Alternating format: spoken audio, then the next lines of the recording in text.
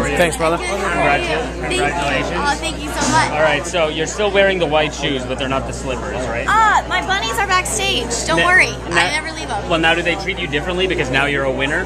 No, the bunnies, they still love me. They've always thought I was a winner, so I mean, to them, they, they're just happy that I get money now. Would you say that like you were surprised by the result? Because you know a lot of the girls when Kent comes out, they're screaming, yeah.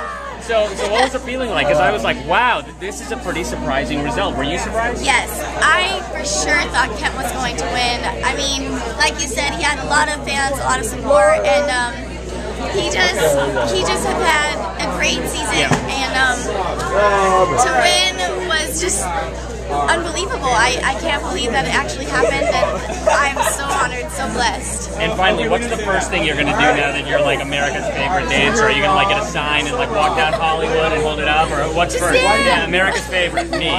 No, um, well, first off, I'm going to sleep. I'm going to go in hibernation for two days until I have to go back to rehearsing for tour. And um, that is going to be an incredible experience on its own. And I just want to keep dancing and keep working hard and hopefully uh, prove to America that I, that That I girls did can deserve dance, to girls be a dance. winner and girls can dance and they can, they can keep up with the boys here on So You Think You Can Dance. That's awesome. Thank you so much. See you on the Thank you. Thank you.